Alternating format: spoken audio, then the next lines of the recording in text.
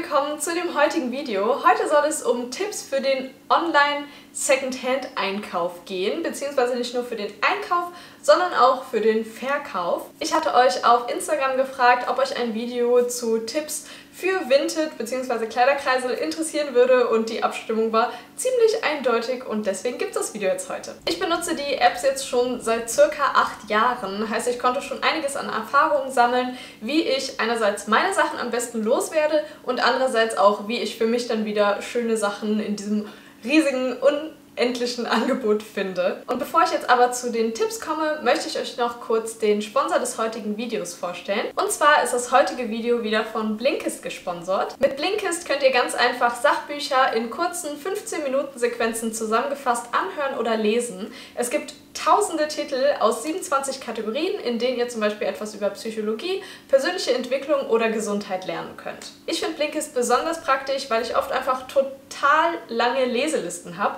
und so viele Bücher wie da draufstehen, schaffe ich es einfach nicht zu lesen. Und so kann ich mir einfach nebenher, wenn ich zum Beispiel am Kochen bin, das Wichtigste aus einem Buch anhören. Heute Morgen, als ich mir mein Frühstück gemacht habe, habe ich mir zum Beispiel die 1% Methode von James Clear angehört und in dem Buch ging es so darum, wie man durch kleine Gewohnheiten Verhalten im Alltag einfach riesige Veränderungen bewirken kann. Und da waren dann ganz viele Tipps drin, wie man die eigenen Gewohnheiten einfach verändern kann. Außerdem gibt es bei Blinkist auch Hörbücher in kompletter Länge und jetzt ganz neu auch Shortcasts, also Podcasts im Blinkist-Format, die sogar von den Originalsprechern der Podcasts eingesprochen wurden. Wenn ihr Blinkist auch mal testen möchtet, dann gibt es auf blinkist.de slash bio 25% Rabatt auf das Jahresabo Blinkist Premium und bei diesem Abo gibt es auch eine 7 Tage kostenlose Test Testphase, falls ihr es erstmal ausprobieren möchtet. Und den Link blinkist.de slash video findet ihr auch nochmal unten in der Infobox. Und dann würde ich sagen, starten wir jetzt erstmal mit den Tipps zum Einkaufen. Ich denke, das sind die, die mehr gefragt sind und danach kommen wir zu den Tipps zum Verkaufen. Der erste Tipp, wenn ihr Klamotten gebraucht online kaufen möchtet,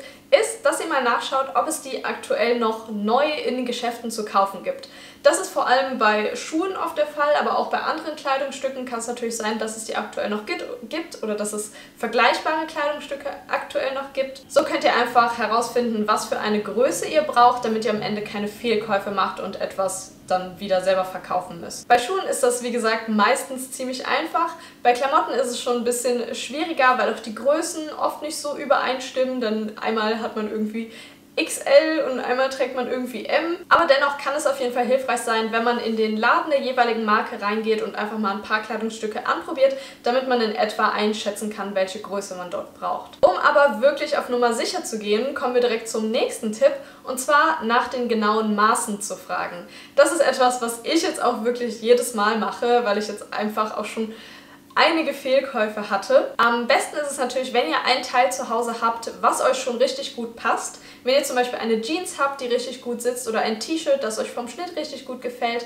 dann könnt ihr da einfach die Maße nehmen und dann, wenn ihr ein Teil findet, was euch gefällt, dann könnt ihr nach genau den Maßen fragen, die ihr bei euren Sachen gemessen habt und so könnt ihr dann wirklich sicher gehen, dass euch das Teil passt. Das nächste finde ich persönlich auch immer super wichtig, auch wenn es nicht zu 100% repräsentativ ist und zwar nach Tragebildern fragen, falls die Personen das Kleidungsstück jetzt nur auf dem Kleiderbügel oder auf dem Bett oder so fotografiert haben. Bei manchen Teilen kann man einfach nicht so gut sehen, wie die wirklich fallen und wie die am Körper dann letztendlich aussehen. Natürlich kann man auch nicht vom Körper der Person, die das verkauft, wirklich auf den eigenen zurückschließen, aber man kann es sich schon so ungefähr vorstellen, wie das Teil aussieht. Manche Personen schreiben in ihr Profil oder in die Beschreibung von den Artikeln auch rein, wie groß sie zum Beispiel sind. Dann könnt ihr zum Beispiel bei einem Kleid auch abschätzen, ist es jetzt zu kurz, ist es zu lang, wie wäre das bei mir in etwa. Aber das sicherste ist, wie gesagt, einfach nach den Maßen zu fragen. Dann habe ich ein paar Nachrichten bekommen, wie ich es schaffe, so schöne Teile zu finden. Also ich mache es einfach so, dass ich nach Marken suche, die mir gefallen, beziehungsweise suche ich nach Läden, wo ich früher eingekauft habe. Ich war zum Beispiel gerne bei Bershka oder bei Pull Bear und da ich weiß, dass mir die Klamotten von dort einfach meistens gefallen, suche ich halt gezielt nach diesen Marken oder nach Zara zum Beispiel gucke ich auch. Sind halt alles Fast Fashion Marken, aber ich finde gebraucht ist es vollkommen egal. Und ich denke, jeder hat zumindest so ein, zwei Lieblingsmarken oder Läden, wo er oder sie gerne einkauft. Und dafür gibt es auch extra Filter, nach denen man suchen kann. So findet man dann eigentlich ganz schnell, was man sucht. Generell sind die Filter sowieso richtig praktisch. Einmal, wenn man nach der Marke sucht, man kann nach einer Farbe suchen. Auch die Kategorien sind inzwischen richtig, richtig genau. Also wenn ihr jetzt zum Beispiel ein Sommerkleid sucht, dann gebt nicht einfach nur Kleid ein, sondern geht wirklich in die Kategorien und geht bis in die kleinste Unterkategorie rein. So findet ihr am ehesten das, was ihr gerade sucht. Eine Einstellung, die ich auch total praktisch finde, ist der Preis. Man kann einen Mindest- und einen Höchstpreis einstellen. So kann man auch schon eine riesige Menge an Artikeln rausfiltern, die man vielleicht sowieso nicht kaufen würde, weil sie einfach zu teuer sind. Und außerdem kann man auch nach dem Preis sortieren, sodass zum Beispiel die günstigsten Artikel als erstes angezeigt werden. Der nächste Tipp ist, auch wenn ihr einen Teil vielleicht zu teuer findet, favorisiert es erstmal. Das ist auch etwas, was ich total oft mache. Also ich favorisiere immer super viele Artikel und am Ende sortiere ich dann nochmal aus. Aber ich beobachte auch Teile über eine längere Zeit und oft ist es dann so, dass die Artikel sich halt nicht verkaufen und dass sie dann noch reduziert werden. Also auch wenn ein Teil euch vielleicht erstmal zu teuer ist, kann es sein, dass ihr es später noch günstiger bekommt. Es kann aber natürlich auch sein, dass jemand anders es in dieser Zeit für den anderen Preis kauft. Verhandeln ist bei gebrauchten Sachen natürlich auch immer ein großes Thema. Da finde ich es einfach wichtig, dass man fair verhandelt und nicht total freche Anfragen macht. Ich denke, dass man dabei freundlich ist und sich normal ausdrückt, ist eigentlich selbstverständlich. Aber auch bei den Preisvorschlägen, die man macht, sollte man einfach realistisch sein, weil sonst werden die Nachrichten wahrscheinlich einfach ignoriert. Das nächste ist mir erst vor kurzem aufgefallen und zwar sollte man auf die Schreibweise achten.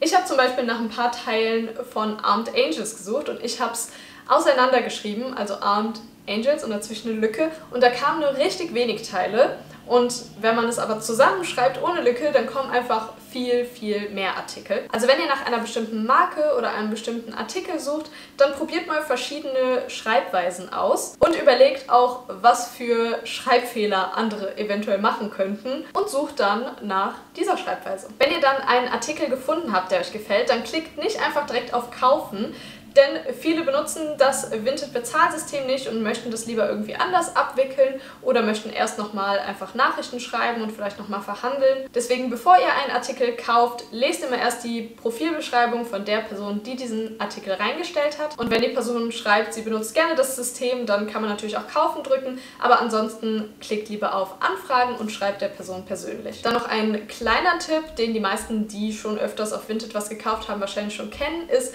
stellt Pakete zusammen. Also wenn ihr schon einen Teil bei einer Person gefunden habt, dann schaut mal durch den Katalog, ob ihr vielleicht noch was anderes findet, was ihr gerade sucht, was euch gefallen könnte. Denn die allermeisten Leute haben es so eingestellt, dass es ab zwei oder mehr Artikeln Rabatte gibt. Außerdem gibt es auf Vinted auch die Tauschfunktion. Ich habe allerdings das Gefühl, dass die so gut wie niemand mehr nutzt. Also früher bei Kleiderkreisel haben das noch relativ viele Leute gemacht. Ich habe es damals auch viel benutzt, aber ich glaube inzwischen ist es nicht mehr so verbreitet. Aber ihr könnt natürlich trotzdem noch danach gucken, ob ihr jemanden zum Tauschen findet. So könnt ihr nochmal Geld sparen. Wenn es dann wirklich ums Kaufen geht, dann ist für mich erstmal das Wichtigste, die Bewertung der Person zu lesen. Muss natürlich jeder auch irgendwie selber entscheiden. Ich persönlich kaufe aber nichts bei Leuten, die noch gar keine Bewertungen haben und in der Regel kaufe ich auch nichts bei Leuten, die schlechte Bewertungen haben. Ist ja auch irgendwie logisch. Ich glaube, ich habe einmal etwas bei einer Person gekauft, die schon schlechte Bewertungen hatte und das war dann auch eine meiner wenigen schlechten Erfahrungen. Also der Artikel ist bei mir nie angekommen. Tatsächlich ist es zweimal schon passiert. Zweimal. Also bevor ihr etwas kauft, guckt auf jeden Fall auf die Bewertung. Noch ein Tipp, um nicht irgendwie betrogen zu werden, ist möglichst nicht über PayPal-Freunde oder Überweisung zu zahlen. Viele Käufer und Käuferinnen fordern das. Wenn jemand das Vinted-Kaufsystem wirklich nicht nutzen möchte, dann mache ich persönlich es so, dass ich versicherten Versand wähle und dann über PayPal Käufer, also das normale Käufer PayPal bezahle, also nicht über die Freunde-Funktion. Da seid ihr einfach abgesichert, die müssen die Verfolgungsnummer dann dort eingeben und wenn nichts losgeschickt wird, dann bekommt ihr euer Geld halt zurück. Und über das Vinted-Bezahlsystem ist das genauso. Wenn die Verkäufer das nicht losschicken, bekommt ihr euer Geld zurück. Bei PayPal Freunde und auch bei Überweisungen ist es ganz einfach so, wenn das Teil nie bei euch ankommt, könnt ihr nichts machen und das Geld ist weg. Dann habe ich nur noch zwei Tipps zum Bereich Kaufen. Und zwar das erste wäre Suchen zu speichern. Bei den allermeisten Artikeln werdet ihr wahrscheinlich schon bei der normalen Suche fündig werden. Aber manchmal, wenn man nach einem ganz speziellen Teil sucht, dann ist halt doch nicht das Richtige dabei. Und dafür gibt es ganz einfach die Funktion, dass ihr eine Suche speichern könnt. Also wenn ihr jetzt zum Beispiel nach Schuhen von Veja sucht, dann könnt ihr diese Suche speichern. Und wenn neue Artikel zu eurer Suche eingestellt werden, dann bekommt ihr ganz einfach einfach eine Benachrichtigung und könnt so nichts verpassen. Und das letzte wäre, wenn ihr jemanden findet, deren Katalog euch super gut gefällt und wo ihr das Gefühl habt, ihr habt irgendwie einen ähnlichen Kleidungsstil, dann könnt ihr dieser Person ganz einfach folgen. Ich finde, das ist eine super praktische Funktion, vor allem wenn man schon ein paar Leute so zusammengesammelt hat. Dann muss man nicht mehr den ganzen Vinted-Katalog durchsuchen, sondern hat halt ein paar Leute, wo man weiß, die Größe passt in etwa. Vielleicht hat man bei denen schon was gekauft und der Zustand war auch super gut und alles ist gut gelaufen und der Kleidungsstil passt dann auch. Dann kann man sich sehr viel Zeit ersparen. Und dann kommen wir jetzt zu den Tipps zum Verkaufen. Das sind auf jeden Fall weniger, das ist auch eigentlich nicht sonderlich kompliziert. Das erste, was ich auch hier wieder wichtig finde, sind natürlich die Bewertungen. Also ich habe ja eben gesagt, kauft nur bei Leuten, die auch gute Bewertungen haben und genauso werden bei euch nur Leute kaufen, wenn ihr gute Bewertungen habt. Heißt, wenn ihr jetzt noch ein Anfänger seid und die App gerade erst runtergeladen habt, dann, so habe ich es zumindest am Anfang gemacht, kauft erstmal bei anderen Leuten ein, sodass ihr schon mal ein paar gute Bewertungen sammeln könnt. Dann ist euer Profil direkt ein bisschen vertrauenswürdiger und die Leute werden eher was bei euch kaufen. Das Wichtigste, wenn ihr Kleidung verkaufen möchtet, sind natürlich die Fotos. Erstmal finde ich es super wichtig, dass man Tragebilder macht, also Kleidung, die man einfach nur auf den Boden gelegt hat oder auf den Bügel gehangen hat, vielleicht noch total zerknittert, sieht einfach nicht sonderlich ansprechend aus. Deswegen macht euch den Aufwand, auch wenn es ein bisschen mehr Arbeit ist, als die Sachen einfach nur hinzulegen, zieht die Sachen an, sorgt dafür, dass die ordentlich sind, dass sie sauber sind, dass sie vielleicht gebügelt sind, falls sie total zerknittert waren und macht dann einfach ein paar ansprechende Fotos. Bei den Fotos finde ich es auch wichtig, dass das Licht gut ist. Also viele machen bei total dunklem Glühlampenlicht Bilder, die dann total gelb sind. Heißt, man kann die Farbe von den Kleidungsstücken gar nicht richtig erkennen. Also wenn es euch möglich ist, dann macht Fotos bei Tageslicht, am besten direkt vor einem Fenster. Natürlich sollte es auch nicht zu hell sein, also wenn bei euch jetzt voll die Sonne reinknallt, dann geht ein bisschen vom Fenster weg. Tageslicht, Kleidung anziehen und, was ich auch ganz wichtig finde, ist ein neutraler Hintergrund. Wenn man sieht, dass im Hintergrund total viel Müll rumliegt und es super unordentlich ist, dann sieht es einfach auch nicht sonderlich gepflegt aus und dann werden die Leute, die das auch sehen, denken, die Kleidung ist wahrscheinlich auch nicht sonderlich gepflegt und werden es dann wahrscheinlich eher nicht kaufen. Das nächste, was fast genauso wichtig ist wie die Fotos, sind der Titel und die Beschreibung. Nehmt euch da wirklich ein paar Minuten Zeit und gebt euch ein bisschen Mühe mit der Beschreibung. Das ist einfach so der erste bzw. der zweite Eindruck, den man von eurem Profil bekommt. Viele schreiben zum Beispiel in die Beschreibung einfach nur guter Zustand. Es ist aber so, genauso wie zum Beispiel bei YouTube-Videos auch, umso mehr treffende Wörter ihr im Titel und in der Beschreibung habt, umso eher werden eure Artikel gefunden werden. Werden gefunden werden. Hm. Also wenn jetzt zum Beispiel ein schwarzes, enges, kurzes Spitzenkleid habt, dann schreibt nicht einfach nur schwarzes Kleid, sondern schreibt in die Beschreibung irgendwie rein enges, kurzes Cocktailkleid mit Spitze. Also irgendwie möglichst viele Begriffe, nach denen die Leute suchen würden. Aber natürlich auch nur Begriffe, die wirklich dazu passen. Auch auf Vinted gibt es Clickbait. Also viele schreiben zum Beispiel einfach Vintage rein oder geben als Marke auch einfach True Vintage oder so an, weil das einfach etwas ist, wonach viele Leute suchen.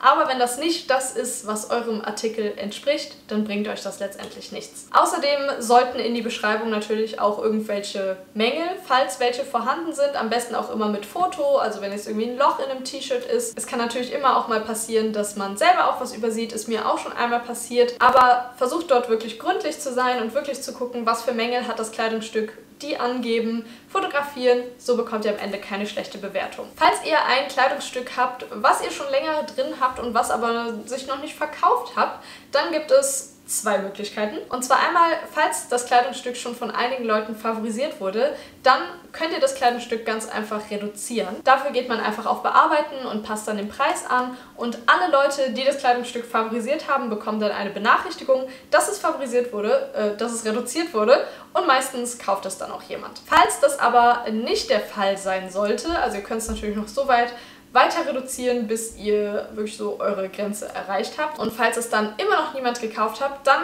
könnt ihr es einfach nochmal neu hochladen. Manchmal hat man beim ersten Upload auch einfach irgendwie eine doofe Zeit erwischt, sei es eine doofe Tageszeit oder vielleicht haben gerade in dieser Woche nicht so viele Menschen nach so einem Kleidungsstück gesucht. Und so drei, vier Wochen später kann das aber auch schon wieder komplett anders aussehen. Deswegen ladet das Kleidungsstück einfach noch einmal neu hoch, dann wird es auch gleich weiter oben angezeigt und wenn Leute zum Beispiel nur nach den neuesten Teilen suchen, dann seid ihr auch wieder ganz oben auf der Liste. Und das letzte ist ein Tipp sowohl zum Kaufen als auch zum Verkaufen und natürlich ähm, zum Thema Nachhaltigkeit. Und zwar bewahrt Versandverpackungen auf. Wenn man Kleidungsstücke über Vinted kauft und verkauft, dann sammelt sich da schon einiges an Versandtaschen und kleinen Kartons an. Und auch wenn ich jetzt in der nächsten Zeit vielleicht selber nichts zu verkaufen habe, dann versuche ich immer die Versandtaschen aufzubewahren, weil die Zeit, in der ich mal wieder was verkaufe, wird auf jeden Fall kommen. Und gerade so Versandkartons, wenn man die jetzt neu kauft, sind auch nicht unbedingt günstig. Deswegen kann man da auch direkt noch einmal Geld sparen und nachhaltiger ist es natürlich auch. Und das waren alle meine Tipps zum Thema Secondhand-Kleidung online kaufen und verkaufen.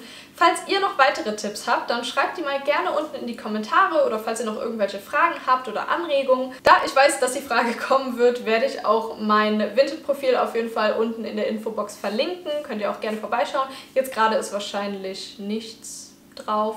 Vielleicht ein, zwei Teile habe ich, glaube ich, noch reingestellt. Aber ich sortiere ja auch relativ regelmäßig aus, deswegen kommt auch immer mal wieder was. Ansonsten hoffe ich einfach, dass euch dieses Video weitergeholfen hat und wir sehen uns dann beim nächsten Mal wieder. Tschüss! Thank.